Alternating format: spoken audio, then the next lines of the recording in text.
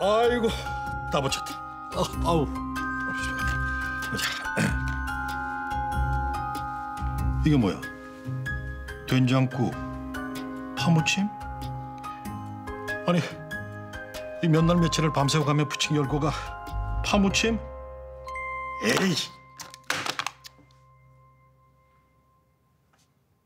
가만. 이게 뭐야? 보라색? 좋아. 마지막으로 보라색만 한번 맞춰보자. 나 정근석 근기 안 하는 위치. 아 그럼 이 정도쯤이야. 핀셋 그렇지. 핀셋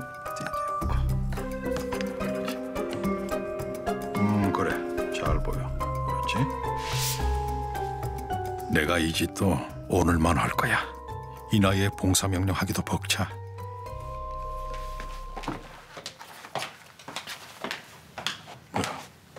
제가 여길 왜 왔지? 실례하겠습니다.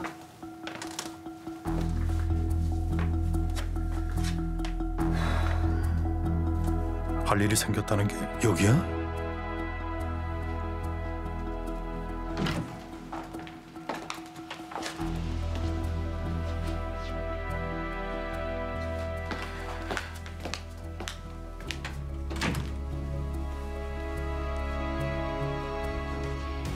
정인우라고 합니다.